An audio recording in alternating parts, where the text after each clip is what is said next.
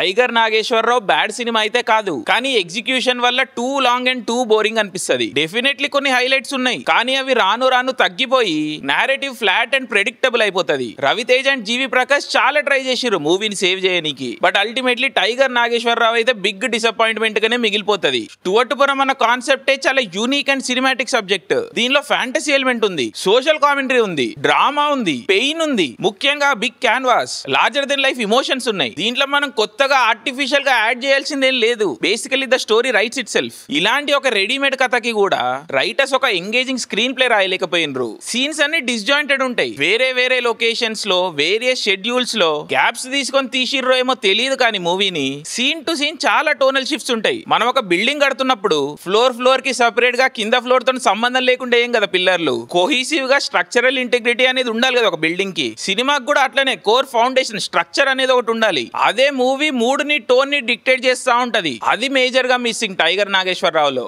ఏదో అప్పటికప్పుడు డెసిషన్స్ తీసుకొని చేసుకుంటా పోతున్నట్టుంటది మూవీ అండ్ దీనికి తోడు ఇంకొక మేజర్ చాయిస్ తీసుకుంటది మూవీ కథ స్కోప్కి మించి పెద్దగా చూపించడానికి ట్రై చేస్తా ఉంటది. అందుకే ర్యాండమ్గా టన్నులు కిలోమీటర్లు కోట్లు మర్డర్లు ఇలాంటి పదాలు వినిపిస్తా ఉంటాయి. అండ్ ఇవన్నీ ఫోర్స్డ్గా వేరే పెద్ద సినిమాలని ఇమిటేట్ చేస్తున్నట్టుగా అనిపిస్తుంటది. కథ పెద్దగా అవ్వాలంటే ర్యాండమ్ నంబర్స్ పెట్టాల్సిన పని లేదు. డ్రామా అండ్ స్టేక్స్ తోనే పెద్ద బొమ్మ రాబట్టొచ్చు. దీనికి ఈ మధ్య కాలంలో వచ్చిన బెస్ట్ ఎగ్జాంపుల్ దసరా. దసరా కథ తిరిగేది ధరణి వెన్నెల సూరి అండ్ చిన్న నంబి ఈ నాలుగు క్యారెక్టర్స్ చుట్టే కానీ చూస్తున్నప్పుడు అట్లా అనిపించదు కదా? బిగ్ ఇమేజే కనిపిస్తుంది చూస్తున్నంత సేపు అఫ్ కోర్స్ దసరా కూడా ఫ్లాస్ ఉన్నాయి. కానీ ఈ పర్టికులర్ విషయం మాత్రం చాలా బాగా చేస్తుంది. ఇదే కైండ్ ఆఫ్ ట్రీట్మెంట్ తోని టైగర్ నాగేశ్వరరావు వెళ్ళుంటే స్టోరీ ఇంకా పర్సనల్ అనిపించేది. హ్యూమనైజ్ అయ్యేది వరల్డ్ అండ్ ఇన్ రిటర్న్ బొమ్మ కూడా పెద్దగా అయ్యేది. ఎందుకంటే పర్సనల్ స్టేక్స్ పెరుగుతాయి కాబట్టి. కానీ జెన్యున్లీ కొన్ని మంచి మూమెంట్స్ ఉన్నాయి మూవీలో కొన్ని సీన్స్ మనం ఎక్స్పెక్ట్ చేయని డైరెక్షన్లో పోతా ఉంటాయి. ఎస్పెషల్లీ ఆ రాషమాన్ ఎఫెక్ట్ని బాగా ఎఫెక్టివ్గా వాడుకున్నారు. సో ఖచ్చితంగా స్పార్క్ అయితే ఉండే మూవీలో. బట్ ముందు చెప్పినట్టు టూ లిటిల్ టూ ఫార్ అన్నట్టుగా అయిపోతది. రెండు లవ్ స్టోరీస్ ఉన్నాయి మూవీలో. అండ్ రెండు ర్యాండమ్గా ఫోర్స్డ్గా ఉంటాయి. రవితేజ వన్ టూ ఇయర్స్ నుండి టైగర్ నాగేశ్వరరావు గురించి ఎక్సైటెడ్ ఉన్నా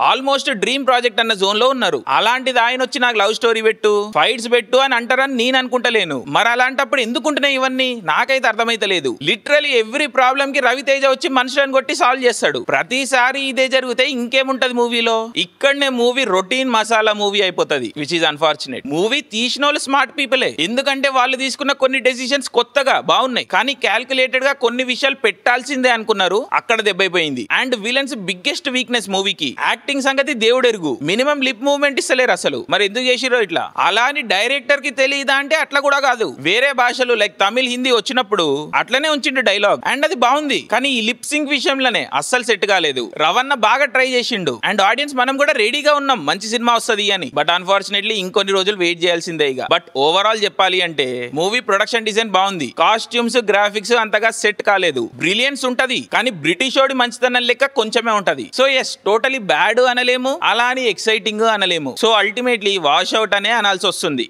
సాడ్ బట్ వెళ్ళిపోయే ముందు ఒక మాట. డైరెక్టర్ వంశీ అన్న జలియన్ వాలా బాగ్ మ్యాసకర్ మీద ఏదో హాట్ టేక్ తీసుకొని ఏదో నీతి చెప్పనికి ట్రై చేస్తాడు. బ్రో రిలాక్స్ మనం ఏం మాట్లాడుతున్నామో జర అసెస్ చేసుకోవాలి ఇలాంటి విషయాల్లో. ఐ స్ట్రాంగ్లీ సజెస్ట్ అసలు వాస్తవాలు ఏందని మళ్ళీ శ్రద్ధ పెట్టి చదవమని. ఇలాంటి హాఫ్ బేక్డ్ థియరీస్ని వెపనైజ్ చేయకండి please hope that you understand thank you Jai Hind